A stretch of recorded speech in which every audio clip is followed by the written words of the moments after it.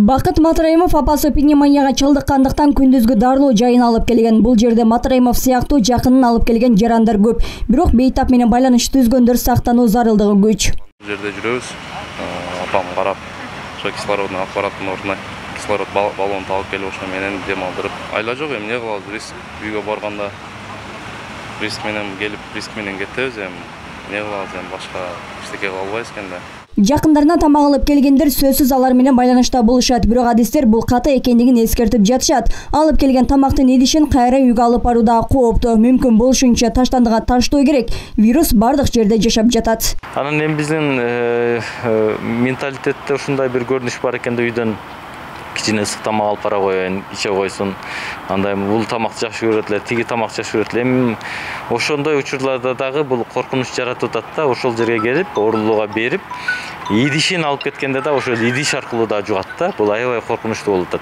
он бешинчи июнга караган түнү ош шаардык ооруканасына дүрбөлөң салган жарандар бейтапканага кирүү аракетин көрүшкөн аталган жай кооптуу болгондуктан тартип сакчылары жана башкы врач алардын аракетине каршы турушкан анткени бул жайда оор абалдагылар жаткырылган жана кызыл зона аймагына алынган Ana vuraçlar!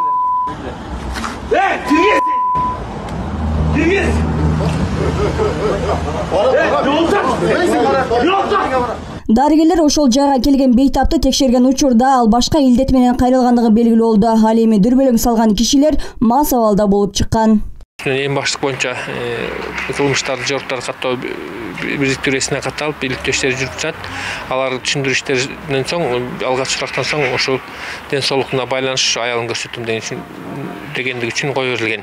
Илдеттин бул аймакта тез эле жугуп калуу коркунучу жогору эч кандай байланыш түзүүгө дагы мүмкүн эмес. Бирок жарандар аталган тартипти сактабайт. Алар жакындарынан кабар алуу үчүн кооптуу аймактын эшигине чогулуп жатышат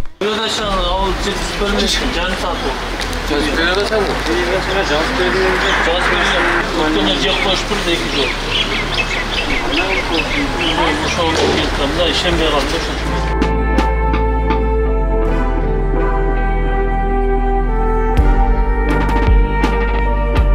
оорулуулар көбөйүп жаткандыктан оор абалдагылар атайын өзүнчө каралып жатат ал эми жеңил түрүнө кабылгандар болсо алар күндүзгү дарылоо мекемесине кайрылуусу керек. Түз эле шаардык оорукананын эски шаардык ооруканага алып келет жаңыга эмес эскиге оорулуулар ушул жерде жатат ал эми орто жеңилдер күндүзгү стационарларга кайрыла берсин алар түз ооруканага барыштын зарылчылыгы жок кызыл зонага айланган жай ош шаардык ооруканасынын эски имараты ал эми башка оорулар боюнча ак тилек кичи районундагы жаңы имарат кызмат көрсөтөт бейтапканада ар кандай түшүнбөстүк жагдайлар орун алып жатат дешет анда дарыгерге ылдык көрсөткөн учурлар көп катталып жатыптыр бул буга ким күнөөлүү буга эми ооруп калгандан кийин ар түрдүү сөздөрдү айтышат экен өкмөт тиги буга биз жарандар өзүбүз биз эми жарандар баардыгыбыз ошол ооруну жакшынакай жүрөгүбүз менен кабыл алып коюп биз ошол азыркы талаптарды сактап ушул ооруну жеңели деп баардыгыбыз бир акылмандуулук менен аксакалдарыбыз өзүнчө жаштарыбыз өзүнчө туура жол менен бармай сайын бул ооруну жеңиш аябай кыйын болуп баратат да барган сайын көбөйүп атат мына көрүп атасыздар соц сеттерде